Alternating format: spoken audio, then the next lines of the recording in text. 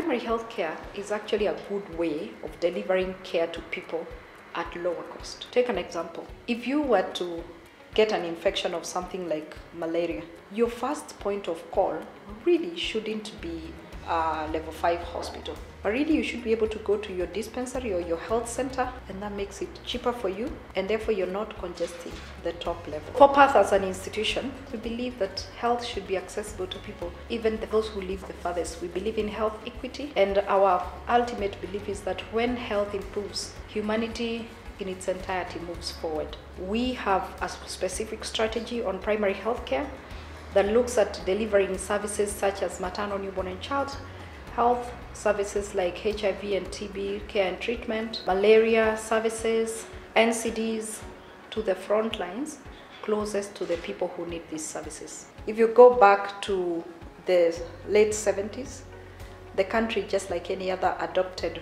primary health care, then recommitted itself again in 2018.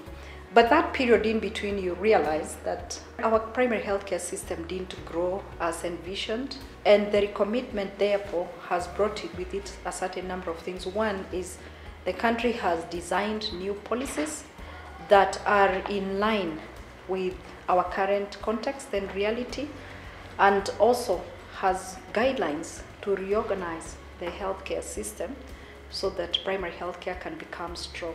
And primary healthcare now is rooted in universal health coverage and is seen as the engine to drive the country towards achieving universal health coverage. One thing we've learned over the years is it's easy many times for governments to move forward and make commitments in policy documents. The challenge is implementing the commitments that are written down. And therefore, we, we are doing two things. One, we have a level of partnership with the government in helping making make sure that policies as they're being written they are reflective of the needs of communities that we've worked with. We've been in kenya for 29 years and we've generated a lot of evidence and learned a lot of, a lot of lessons. And therefore we lend that evidence to influence how government is writing its policies so that they can be easy to implement. And the second piece is you can't implement what you don't know. So we work with both the national government as well as counties and other organizations to disseminate these policies to the people who need to know them.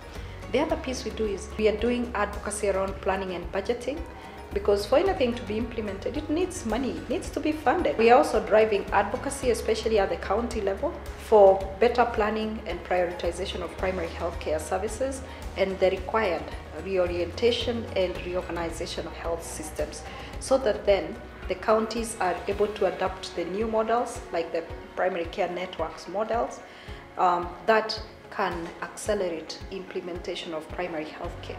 In addition to that, we're looking forward to working with local organizations to hold county governments, national governments to account for delivering primary health care to them in the way that the policies recommend. There are many challenges along the way.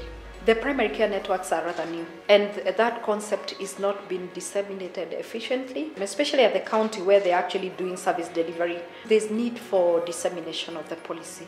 In addition to dissemination of policies, is this country, just like any other, has been deeply, deeply affected by COVID-19 pandemic, and therefore our resources as a country have shrunk and therefore things may not scale as fast as if we had better resources. My call would be to counties to really prioritize health, and not just counties, but also the national government to really prioritize health because we've all learned the lesson that the health and well-being of our nation can determine whether we will grow an economy or we will grind an economy to a halt.